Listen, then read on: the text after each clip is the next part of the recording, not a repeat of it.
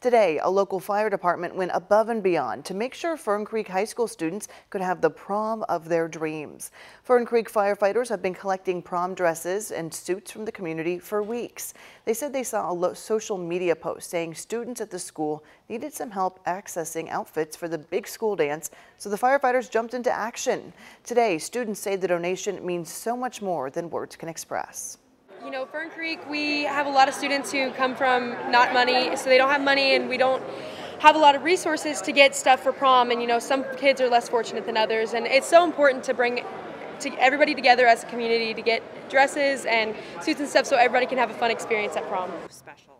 Kentucky's First Lady Brittany Beshear was also there for the big donation today, thanking the Fern Creek firefighters for their generosity and dedication to our community.